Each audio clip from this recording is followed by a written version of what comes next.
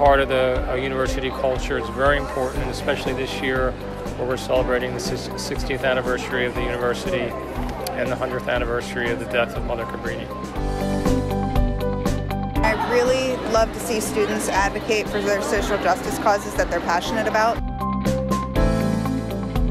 You're at Cabrini because you embrace the mission of the institution, and the, the mission is one of social justice.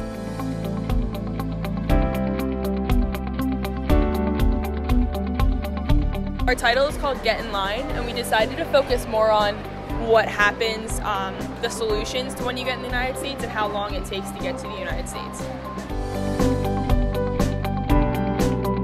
Instead of sitting down at a table and reading something, um, it's a visual way for people to learn about the experience. Come to events like Cabrini Day to show your alignment with the mission, your commitment to people who are suffering injustice, and your desire to you know, be a change in, in the world.